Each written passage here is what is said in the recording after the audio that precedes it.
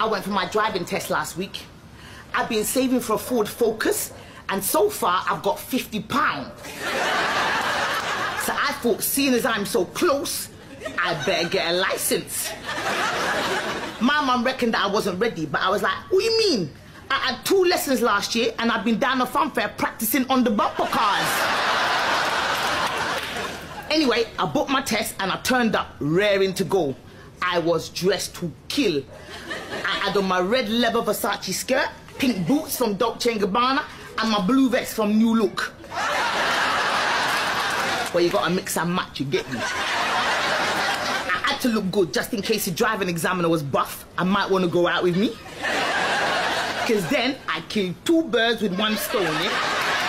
That's right. I passed the test because he likes me, and I get a boyfriend with a Fiat Punto.